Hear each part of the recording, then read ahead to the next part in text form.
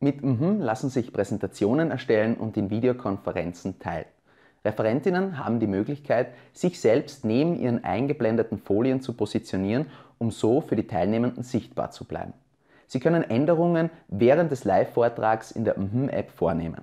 Es ist auch möglich, die Präsentation vorab als Video aufzuzeichnen und zu speichern und sie anschließend Lernenden über einen Link oder im MP4-Format als Lernmaterial zur Verfügung zu stellen.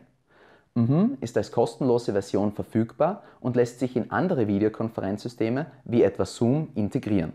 Wie mhm genau funktioniert, sehen wir uns in diesem Tutorial an.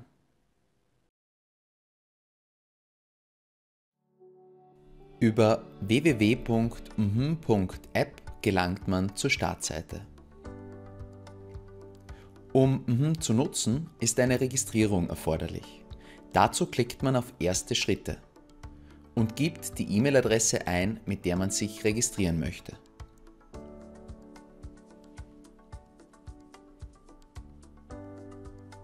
Nach einem Klick auf Next sind noch die Eingabe des Vor- und Nachnamens sowie eines Passworts erforderlich.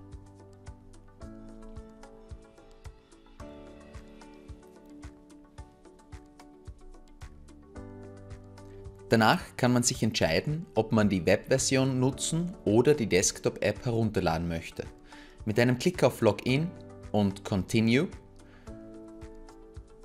gelangt man in den Bereich TV.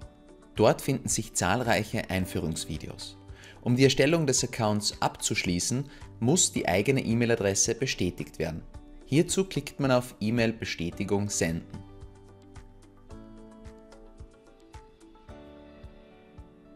Im Postfach des E-Mail-Anbieters erhält man nun eine E-Mail zur Bestätigung. Mit Klick auf Verify E-Mail ist die Registrierung abgeschlossen. Der Button mhm Starten führt zum eigenen Präsentations- und Meetingraum.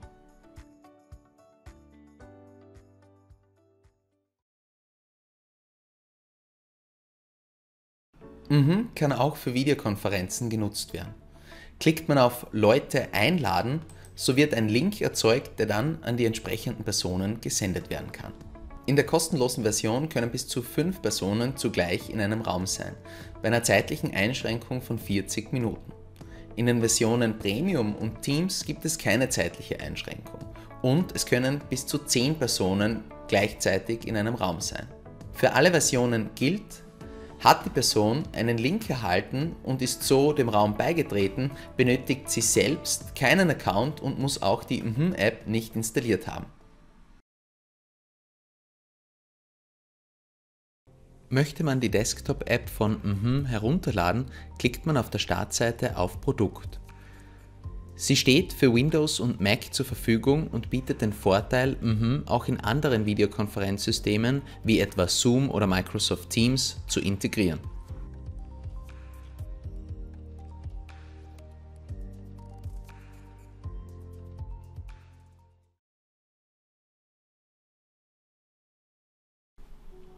In der Rubrik Rooms können die Hintergründe für die Präsentation gewählt werden. Dabei lassen sich seriöse Hintergründe wie beispielsweise eine Bibliothek oder einfärbige Hintergründe wählen, aber auch verspielte oder besonders atmosphärische, wie dieser in Nebel gehüllte Wald. Unter Custom können eigene Hintergründe hochgeladen werden.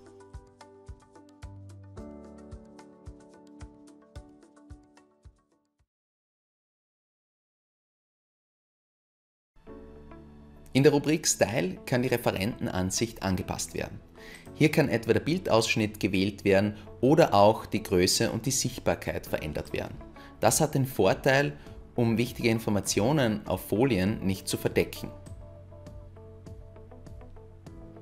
Es kann auch der eigene Bildausschnitt rotiert werden oder Effekte eingefügt werden. Hakt man Show Big Hands ab, werden Gesten automatisch erkannt und in entsprechende Icons umgewandelt.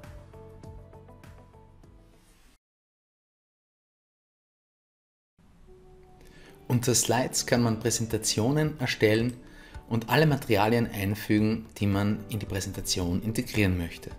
Mit Klick auf das Plus-Symbol erstellt man eine neue Präsentation. Man gibt dazu einen Titel ein und klickt auf Create. Die Präsentation öffnet sich in der linken Spalte. Hier lassen sich Inhalte einfügen wie etwa Textfelder oder es kann auch der eigene Bildschirm geteilt werden.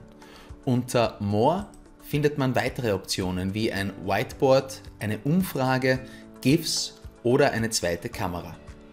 Über die Funktion Drag or Browse Files lassen sich lokale Inhalte hochladen, zum Beispiel Bilder, PDFs oder PowerPoint-Folien. Hochgeladene Folien werden als eigene Präsentation in MHM angelegt. Navigiert man zurück, kann man das entsprechende Folienset auswählen und einzelne Folien in eine andere Präsentation bewegen oder kopieren. Plant man eine PowerPoint-Datei mit mehreren Folien in einer MHM-Präsentation zu zeigen, so ist es ratsam, zuerst die PowerPoint-Datei hochzuladen und weitere Elemente wie etwa Textfelder oder Bilder in dieser Präsentation einzufügen. Ein erstelltes Textfeld kann vergrößert, verkleinert und verschoben werden.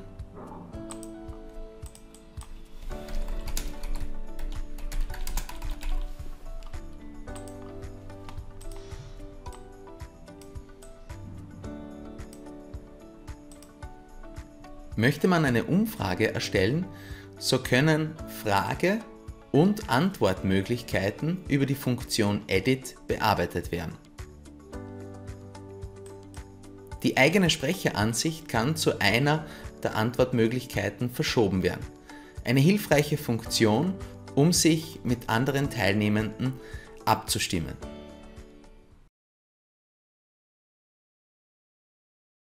Um Präsentationen aufzuzeichnen, klickt man auf den roten Record-Button in der Mitte. Ein Countdown leitet die Aufnahme ein. Hat die Aufnahme begonnen, so kann man durch die Folien klicken und mit der Präsentation beginnen.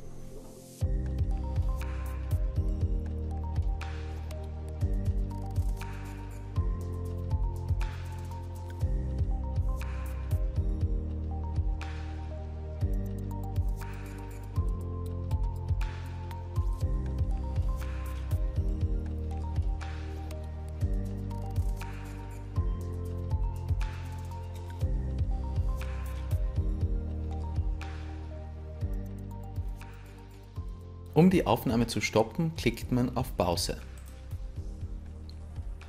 Man hat dann die Möglichkeit, alles zu löschen, die Aufnahme fortzusetzen oder zu speichern. Das Video wird nun dem eigenen Account unter My Videos hinzugefügt. Man hat noch die Möglichkeit, einen Titel einzufügen und zu bestimmen, wer das Video ansehen darf. Personen, die einen Link erhalten oder nur jene, die eine Einladung per E-Mail erhalten und man kann auch sogleich eine E-Mail-Adresse eingeben. Hier findet man den Link, den man kopieren und jemanden senden kann.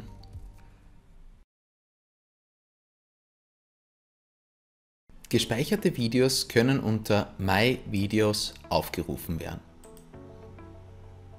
Möchte man ein Video herunterladen, geht man in den Bearbeitungsmodus und wählt Download Video File.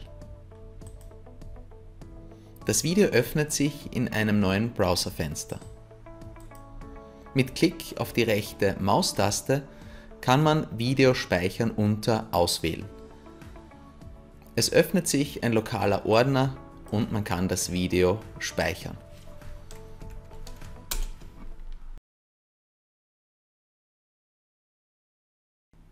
Eine praktikable Funktion mhm, kann in gängige Videokonferenzsysteme integriert werden. Neben Zoom stehen Google Meet, FaceTime, WebEx bei Cisco oder auch Microsoft Teams zur Verfügung. Wie das genau funktioniert, sehen wir uns am Beispiel von Zoom an. Wichtig ist zuerst die MHM Desktop App zu installieren, sich anzumelden und die Desktop App auch aktiv geöffnet zu haben. Danach kann im Meetingraum von Zoom die MHM-Kamera ausgewählt und die Videoübertragung freigegeben werden. Auf diese Weise lassen sich alle Inhalte der mhm Desktop-App in den Zoom-Raum übertragen. Änderungen werden direkt in der mhm App vorgenommen und sind synchron in Zoom sichtbar. Online-Meetings können mit mhm ansprechend gestaltet werden. Durch die Möglichkeit, die Präsentationen aufzuzeichnen, eignet sich das Tool auch für asynchrone Lernphasen. In der kostenlosen Version lässt sich die App umfänglich nutzen. Viel Vergnügen beim Ausprobieren.